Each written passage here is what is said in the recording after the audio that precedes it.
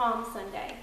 As the sixth and final candle is extinguished, reflects on these parts of a prayer for hope offered by Annabelle Shilson Thompson of the United Kingdom.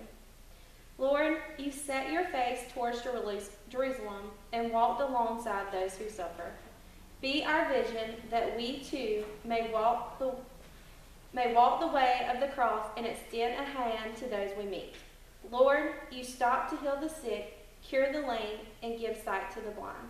Be our vision that we too may give this time to others and respond to their needs. Lord, give us the gladness of your help and support us with a willing spirit.